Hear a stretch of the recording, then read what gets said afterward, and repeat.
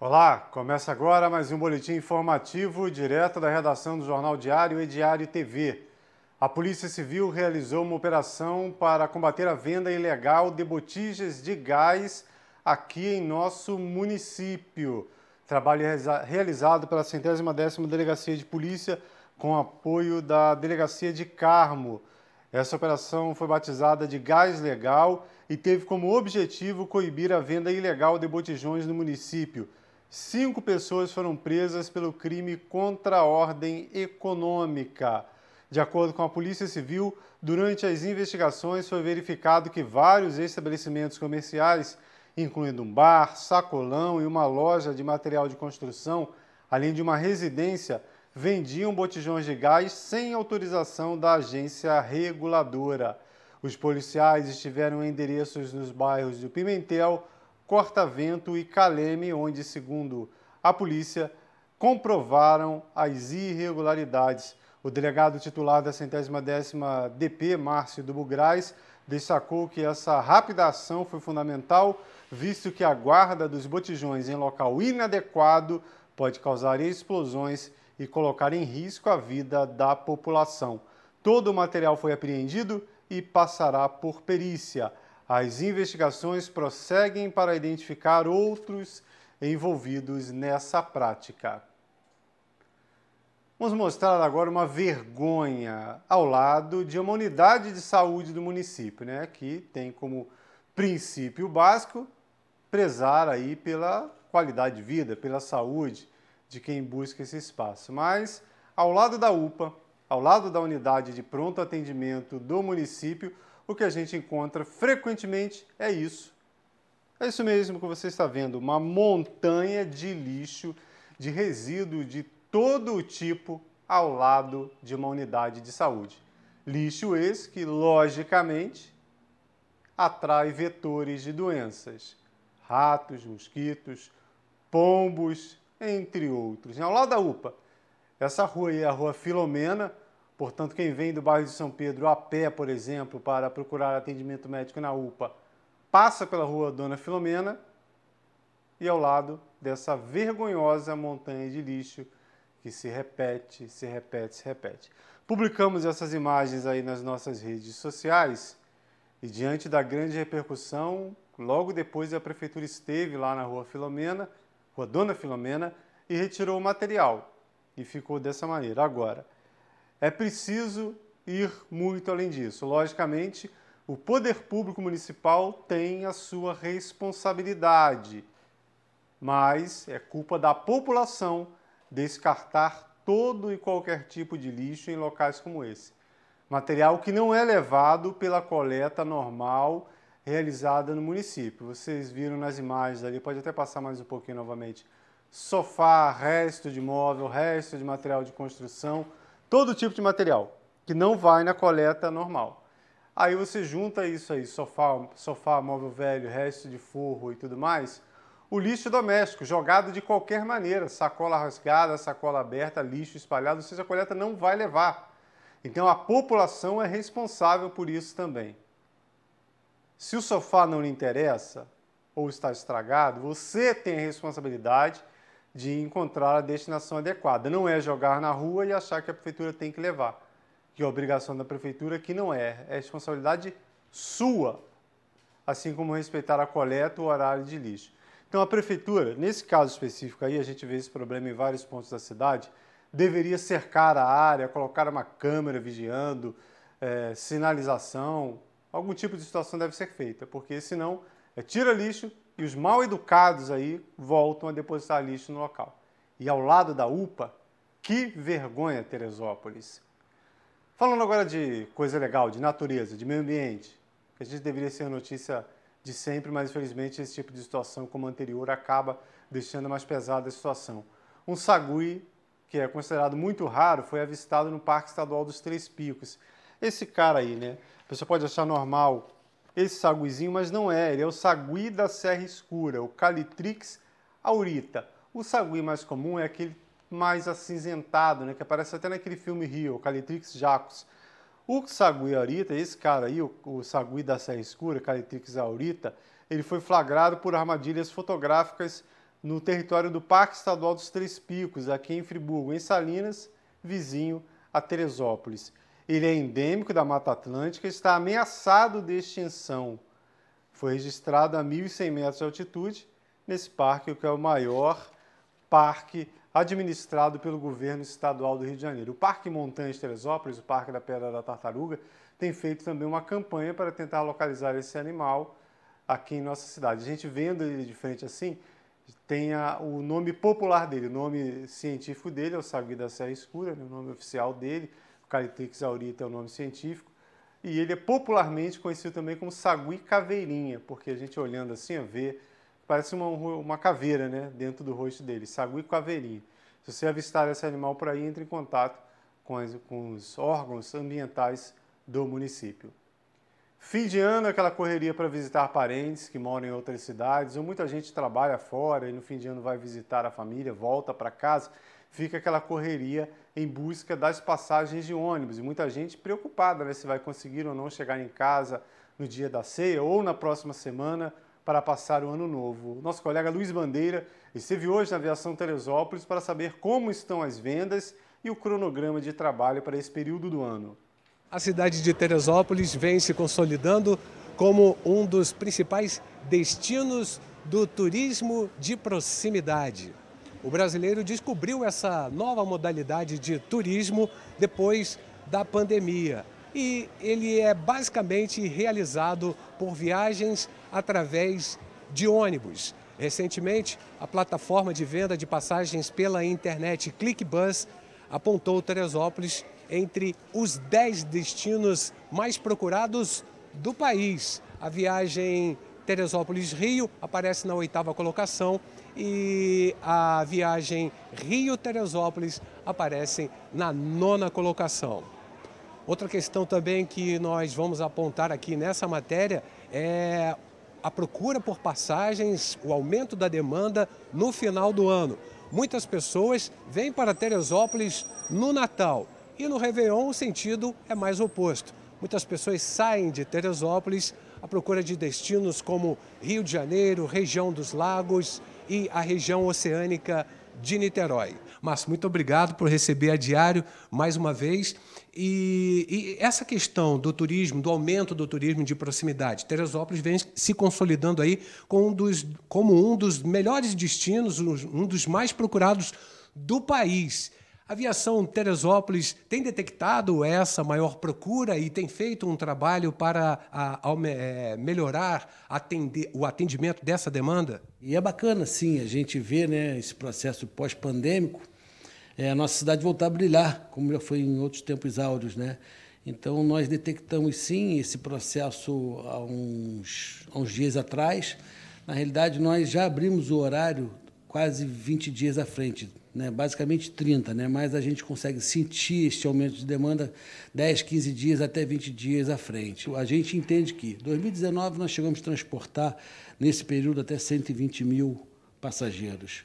O ano passado, né, o ano de 2020, nós transportamos 72 mil pessoas, basicamente, nesse período, digamos assim, em dezembro, né, meados de novembro, meados de dezembro. É, a gente, este ano a gente já sentiu é, uma demanda agregada de quase 22%. Então, isso que vocês trouxeram para a gente há dias atrás, né, em capa de jornais e, e, na própria TV, ela se consolida realmente. Teresópolis, ela, pela proximidade do Rio de Janeiro, ela tem se tornado por um bom destino e a gente fica muito feliz por isso. Eu sou saudosista e vamos trabalhar para a gente realmente poder atender essa demanda e manter esse procedimento que a empresa tem desde 1956, que tem aqui um atendimento sólido, com bastante respeito ao nosso consumidor. Nós não costumamos deixar mais do que 50 minutos, né? mesmo que a gente tenha que abrir um horário extra de 11 horas da manhã, acabou até 10 para meio-dia, a gente consolida um outro horário e a gente procura fazer esse atendimento, que a gente não deixa as pessoas na rodoviária mais do que uma hora, que o DETRO, na realidade, permite até uma hora e meia, próximo duas horas, mas a gente não entende isso, a gente entende que isso tem que ser feito até pela proximidade, pela facilidade. Nós temos garagem no Rio de Janeiro, no Rio de Janeiro garagem em Niterói, né? Então a gente consegue, é, de certa forma, suprir a necessidade dos nossos consumidores. Hoje mesmo, notadamente, aconteceu isso por duas vezes. Né? Então a gente consegue abrir esses horários extras com bastante antecedência para poder atender a demanda e assim tem sido feito ao longo de nossas vidas. Então espero que melhore bastante, espero que essa demanda seja muito agregada, que Teresópolis receba bastante visitações. Da maneira que vier, a gente vai ficar bastante feliz, mas se puder andar de ônibus, é mais confortável, é mais seguro e a gente está aqui para atender a demanda, com certeza. É, o final do ano também tem um fluxo maior de passageiros que chegam aqui, visitantes que chegam a Teresópolis agora nessa é, antes do Natal e depois do Natal, as festividades de fim de ano, o Réveillon, muita gente sai da cidade para a região dos lagos, Niterói, Rio de Janeiro. Provavelmente vão acontecer viagens especiais além das já programadas, não é isso? Correto, né? Você, você tocou um assunto que também na semana passada já foi uma preocupação. Rio das Ostras nós temos né, poucos horários pós-pandemia, a gente tinha um horário diário de lá e um horário de lá para cá. É, isso se extirpou, porque a gente saía daqui, às vezes, uma ou duas vezes na semana, com quatro, cinco passageiros para Rio das Ostras. Esse final de ano, graças a Deus, né, colocado, inclusive, muito bem colocado por você, nós já tivemos que abrir oito carros especiais daqui para Rio das Ostras e seis de lá para cá porque muitas pessoas que compram passagem de ida já compram de volta, apesar que eles voltam mais picadinho, alguns voltam com amigos de carro e outras coisas mais, mas isso já aconteceu. Barra da Tijuca também, já abriram vários horários a mais para Barra da Tijuca, então tudo que a gente ia abrindo, a gente se programa também para voltar, porque a gente sabe que muitos, apesar de se locomoverem bem no Rio, mas tem como ponto de partida o mesmo de chegada. Né? Então, assim, a gente se programou bem para isso, tem acontecido, a frota está aí perfeita, toda revisada, vai acontecer e a gente vai estar tá aí fazendo um atendimento à altura dos nossos consumidores. O terminal rodoviário Novo Rio, na capital fluminense, espera receber para esse final de ano um movimento de cerca de meio milhão de passageiros chegando e saindo da capital é, para todos os destinos do país e comemora a recuperação de cerca de 90% do movimento de antes do início da pandemia. Vamos dar uma passada agora no Diário Comunidade, dois pedidos de ajuda que recebemos aqui na nossa região, na nossa redação. O primeiro, bairro da Quinta Lebrão, olha só, Rua Tanqueredo Neves, moradores reclamam da falta de capina em vários pontos e nesse trecho específico, você vê ali no cantinho da imagem, a rua está cedendo em direção a esse córrego que atravessa o bairro. Né? A situação complicada, é uma via estreita. No período noturno, o motorista pode não perceber aí que a rua está afundando e terminar dentro do curso d'água. A situação se repete no Jardim Serrano. Olha só as imagens que recebemos também, recebemos na tarde de hoje. Essa rua é a rua Ambrosina Francisca da Silva, que liga Jardim Serrano a quebra-frascos, ou pelo menos ligava, né? porque recebemos a informação que foi fechado aquele acesso, inclusive estamos apurando. Parte da rua cedeu, fica aí o pedido de ajuda dos moradores de Jardim Serrano ao município, né? E eles reclamam também da via parcialmente obstruída em alguns pontos. Na última quarta-feira, completou 20 anos a tragédia do bairro do Perpétuo. 20 anos atrás, Teresópolis chorou a morte de oito pessoas no bairro do Perpétuo, sendo seis crianças. Outras duas pessoas morreram no bairro da Granja Guarani nessa tempestade do dia 21 de dezembro de 2002. As imagens, imagens são muito fortes, né? todo esse barranco aí desceu no bairro do Perpétuo. Quem acompanhou a situação à época lembra como foi triste essa situação da, das crianças aí. A, a informação é que elas estavam em uma residência, ficaram com medo aí, as pessoas que estavam em uma festa de aniversário com as crianças ficaram com medo aí do risco de escorregamento de terra, foram para outra casa mais à frente. A barreira caiu na casa que eles foram. E essas crianças acabaram morrendo. Muito triste a situação do bairro Perpétuo, que até hoje tem essas marcas aí da chuva do dia 21 de dezembro de 2022. Em alguns serviços não foram retomados, a quadra segue abandonada, o bairro não recebe a atenção adequada. É né? impossível não lembrar desse tipo de situação, independente da época, né? quando a gente passa por momentos como os aí dos últimos dias. Né? Muita chuva, chuva forte, chuva frequente e existe a previsão de mais chuva para os próximos dias, então fica a preocupação, fica o alerta. Então, é, vamos reprisar aqui um alerta, um pedido da Defesa Civil sobre esse tipo de situação que a gente vive no período de verão, no período de chuvas fortes. E a Defesa Civil iniciou o Plano Verão justamente para prestar um atendimento mais adequado à população de Teresópolis. Como acontece em todos os anos, hoje foi dia do Plano Verão 2022-2023. Nós viemos até a Defesa Civil para saber como que foi esse, essa preparação para a estação onde há maior incidência de chuvas. Vamos falar também com o Coronel Albert Andrade, da Defesa Civil, sobre o, o acúmulo de chuva dos últimos dias. No dia de hoje, nós fizemos o lançamento oficial do planejamento estratégico do, do verão aqui na, no município de Teresópolis. E o plano verão nada mais é do que você trazer todos os, os entes municipais, é, estaduais, que são parceiros nesse planejamento estratégico, e a gente mostrar é, as atribuições de cada um. Tem um plano estabelecido em papel, que a gente faz a, a distribuição ante, antes do lançamento, uhum. todo mundo já fica ciente, cada um dá uma olhada, cada secretaria municipal olha as suas atribuições e faz correções se for o caso.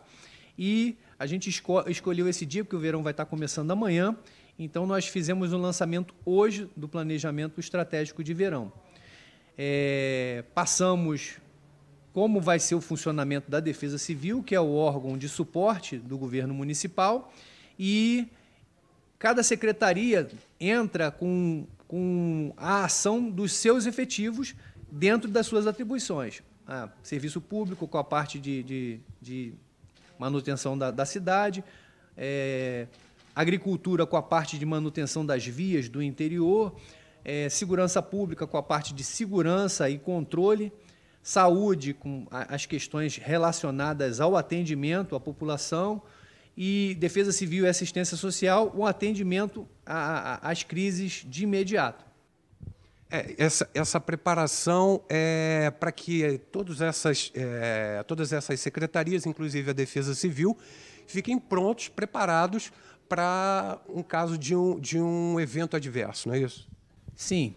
É, por exemplo, hoje foi bem, bem, bem interessante o lançamento, porque nós estamos com, com um alerta que foi emitido ontem pelos órgãos da Defesa Civil Federal, informando que no, no período de hoje a amanhã nós vamos ter a possibilidade de chuva moderada a forte. Então, logo de imediato, por conta dos nossos valores acumulados nos nossos pluviômetros, como nós estamos com algumas é, localidades com valores bem altos no índice mensal, nós já mudamos para estágio de atenção. As nossas equipes estão em pronto emprego, nós temos duas equipes 24 horas por dia e mais duas de sobreaviso, se houver necessidade. Essas equipes elas são acionadas num período máximo de duas horas, como também os outros entes do, do que fazem parte do Plano Verão e a mobilização deles também, o ideal é que, que seja dada nesse período, entre duas e quatro horas. Esse é o planejamento que a gente faz para que todo mundo esteja alinhado, para que a gente possa dar essa resposta no período máximo, entre duas e quatro horas. Todo teresopolitano sabe que no final do ano costuma chover aqui, ah, nessa proximidade de Natal, Ano Novo. Teresópolis sempre é, recebe a incidência de muita chuva, né? Só que dessa vez nós temos aí um sistema meteorológico sobre a nossa região é, é bastante significativo e que preocupa e, por conta disso, a emissão desse, desse alerta aí da Defesa Civil. Não é isso? O senhor sabe apontar assim qual as áreas, as regiões da cidade onde há maior risco? Bom, pelas informações que nós recebemos, como essa massa está se deslocando numa parte mais alta, a gente acredita, por essa informação, que a, a região do interior pode ser a mais afetada. Mas, mesmo assim, devido aos valores acumulados, todas as pessoas que moram no primeiro, segundo distrito e terceiro distrito também têm que ficar atentas aos sinais, ou seja, é, trincas, inclinação de árvores e postes, portas que estavam abrindo normalmente que param de, de abrir, é, água passando por dentro de paredes ou por baixo, qualquer movimentação de terra. Isso é muito importante para que as pessoas, em se visualizando qualquer um desses sinais, a pessoa deve sair de casa e fazer o contato através do 199 com a Defesa Civil para que a, a, a equipe possa realizar uma vistoria. A Secretaria Municipal de Desenvolvimento Social realizou alguns eventos de Natal para as pessoas que são atendidas pelos centros de referência aqui do município. Nessa primeira imagem, você vê a chegada aí do Papai Noel no CRAS do Meldon, atendendo a criançada, a população aí que é contemplada pelo Centro de Referência da Assistência Social do bairro do Meldon. Mais de 80 referenciados do CRAS e seus parentes em grande maioria idosos e crianças, compareceram em peso ao salão paroquial da igreja de Santa Rita, no Meudon, para esperar a chegada do bom velhinho, né, criançada, recebendo aí presente, participando de feiras de artesanato e outras ações. Durante a semana, outros locais aí é, da Secretaria de Desenvolvimento Social também realizaram eventos, como por exemplo no CRAS Alto, CRAS Bom Sucesso, CRAS Fischer e o CRAS São Pedro, todos aí com atividades de acordo né, com o público atendido pelas oficinas, mas todos os eventos relacionados ao fim de ano, ao Natal. E falando em Natal, já imaginou você ganhar de presente um apartamento? Para concorrer, basta fazer compras em um estabelecimento aqui da cidade, que é o Teresópolis Shopping. O Bandeira conversou com o superintendente do local sobre essa promoção, né? Como funciona, como participar e quando será o sorteio desse imóvel.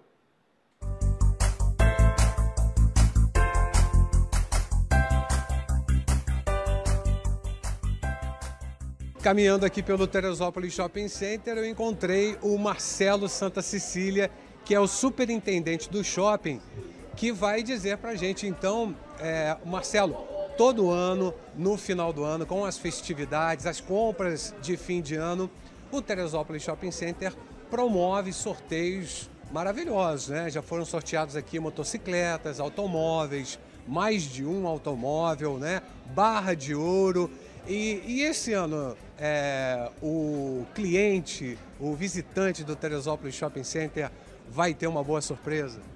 Pois é, esse ano acho que a gente conseguiu realizar um sonho é, de muita gente, um sonho meu como profissional, que, né, de estar conseguindo viabilizar uma parceria que é inédita. Eu não, eu não tenho conhecimento, com tantos anos que eu tenho de, de, de shopping center, que é sortear um apartamento. Esse ano a gente conseguiu se superar, a gente conseguiu fazer uma parceria maravilhosa com a Gênesis, uma consultora local, através do Rogério, do Felipe, o pessoal muito arejado, com a cabeça muito fora da caixa e a gente conseguiu viabilizar, eu acho que é o maior prêmio que provavelmente todos os shoppings do Brasil esse ano vão estar tá, vão tá fazendo. Acho peraí, peraí. Um, um apartamento quitado, a pessoa vai, vai receber a chave do apartamento e já vai poder mudar para lá? A chave, exatamente. É, é, o, é o famoso sonho da casa própria, né? Que a gente está tá realizando de fato esse ano. Né? A chave do apartamento pronto, um apartamento bacana, de dois quartos, com todo conforto, na posse é, e que, enfim, eu tenho certeza que vai mudar muito a dinâmica da cidade e o próprio olhar do consumidor da cidade com relação ao shopping também, que esse ano de fato conseguiu pensar nele até mais do que o próprio a própria última linha, o próprio, a própria receita do shopping. É, nesse momento então, quem está assistindo uh, o diário, né, deve estar tá pensando assim, poxa, eu quero concorrer a esse apartamento. E para concorrer a esse apartamento, como é que a pessoa faz? Até o dia 6 de janeiro, é, o cliente ele troca 400 reais em notas no shopping. Não precisa ser numa loja, pode ser em várias lojas. Ele, isso, isso, pode ser desde um cafezinho até uma sandália havaiana, até um sapato, completando 400 reais em notas. Ele se, ele se encaminha até é, até o posto de troca de notas, que esse ano vai ser no terceiro piso do shopping, na Casa e Vídeo. A gente procurou fazer um lugar com conforto, um lugar onde a gente possa, de fato, é, atender o nosso cliente com, com, segurança, com tranquilidade, onde ele possa fazer, trocar as notas com calma. E é, ele coloca o seu cupom numa urna e, no, enfim, a gente tenho certeza que vão ter muitos cupons esse ano. E no dia, no dia 7 de janeiro a gente vai ter o sorteio é, auditado pela Caixa Econômica Federal, com toda a transparência, toda, toda a visibilidade que um sorteio como esse tem que ter. Essas e outras notícias você vê em nosso site, que é o netdiario.com.br. Qualquer atualização, qualquer novidade antes de um próximo boletim informativo, temos a barrinha de notícias da Diário TV e também as redes sociais, que são Facebook, Instagram e o YouTube. Você que está aí pelo YouTube, não deixe de se inscrever em nosso canal. Até mais!